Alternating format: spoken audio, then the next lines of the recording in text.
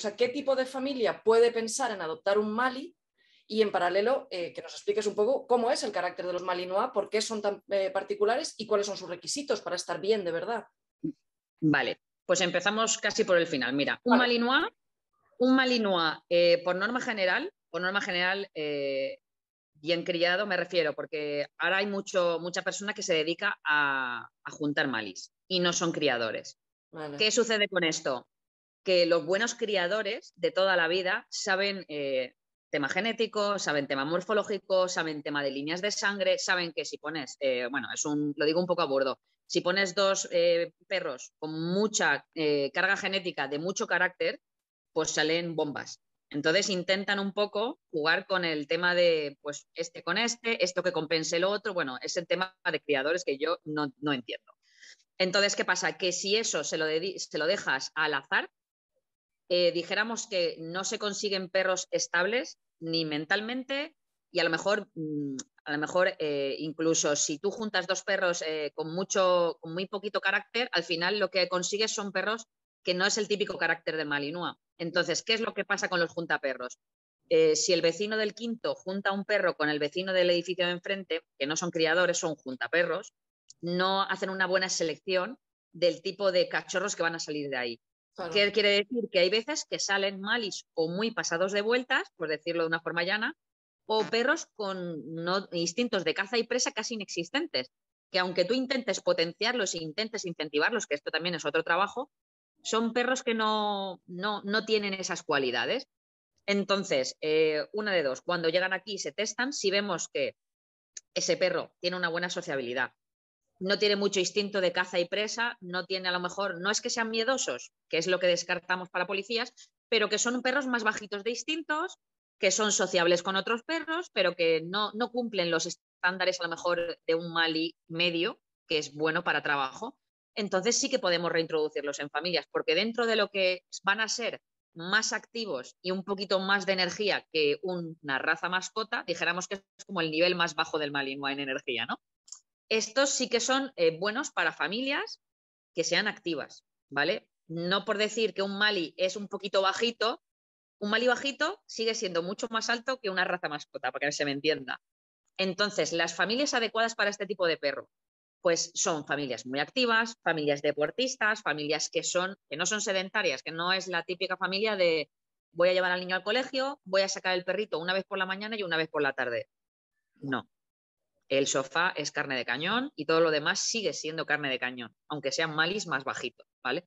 Entonces, familias que nosotros adoptan con nosotros, pues son familias muy deportistas, que a lo mejor se van con los típicos viajes que se van ellos con toda la familia, con una autocaravana, que van para aquí, van para allá, que hacen deporte, con lo cual si eh, los dos integrantes de la familia tienen tiempo importante, porque si tienes un montón de niños o los típicos casos de, es que, bueno, los niños son pequeñitos y tengo muchas extraescolares, no vas a poder al final dedicarle tiempo a ese perro y al final va a ser un perro frustrado, un perro que dentro de casa eh, pues te va a romper cosas, dentro de lo que es un mali bajito, ¿vale?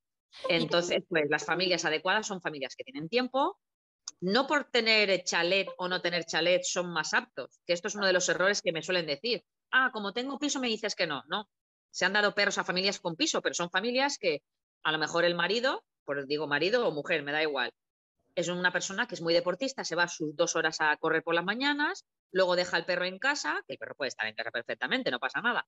Pero luego por la tarde a lo mejor la mujer es la que se va a correr y un poco tiene una vida activa. O tienen un centro canino cerca y ellos, oye, les gusta hacer un deporte. Vamos a hacer agility dos veces o tres por semana, con lo cual el perro tiene una rutina de, de hacer ejercicio y tiene pues cubiertas un poco sus necesidades. Los malis, por norma general, no suelen ser perros mascota al uso de lo que decimos de tres salidas al día, 20 minutos al parque. No, no suelen ser. No suele funcionar porque dan problemas. Dan problemas al final.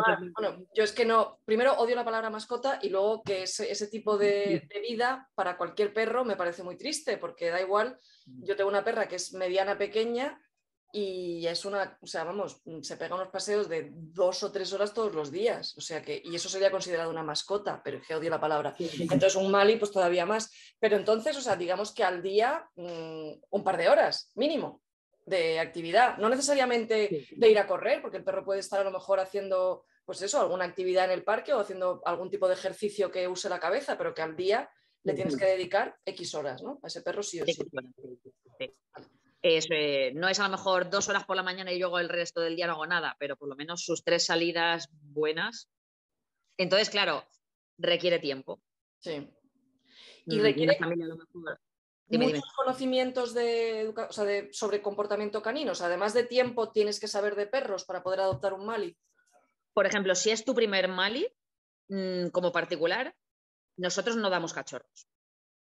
¿Por qué? Porque probablemente que tú hayas tenido perro toda tu vida y eh, tienes unos conocimientos cinológicos buenos, pero si tú te decides por un Mali o una raza de trabajo, tienes que tener ese plus.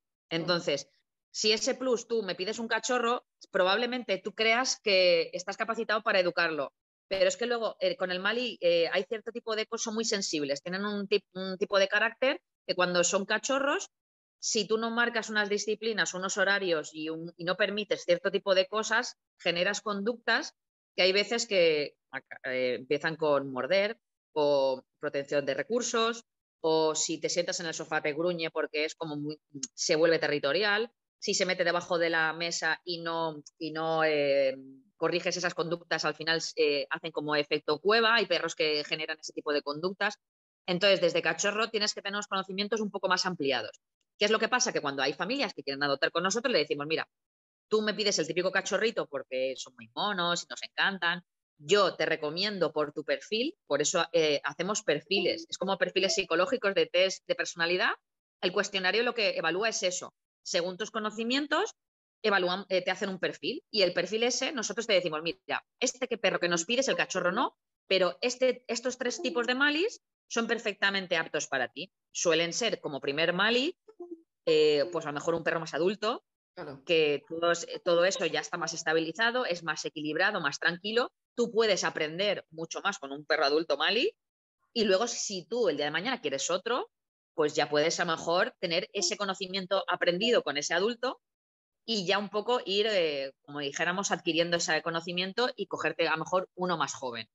Porque si no, probablemente se estropea eh, la etapa esa más sensible y no sé, devolviendo el cachorro con ocho meses. Es que yo lo he hecho todo bien y yo le he querido mucho, pero es que muerde cuando viene mi vecino, es que tira los dientes y le toco el plato, ¿entiendes? Hay veces que eh, generas unas y entonces se estropean. Y cuando estropeas esa etapa, luego, lo que he dicho antes, recuperarlo arreglar es fastidiado. Entonces, a esa gente, a los particulares que tienen conocimiento normal, le decimos, mira, cógete este, te aconsejamos mejor. No te coges el típico cachorrito de tres meses porque probablemente sin tú quererlo, porque tú lo que quieres es darle cariño, pero si a un Mali solo le das cariño, cariño, pero no le das disciplina o le pones normas, se vuelven un poco tiranos.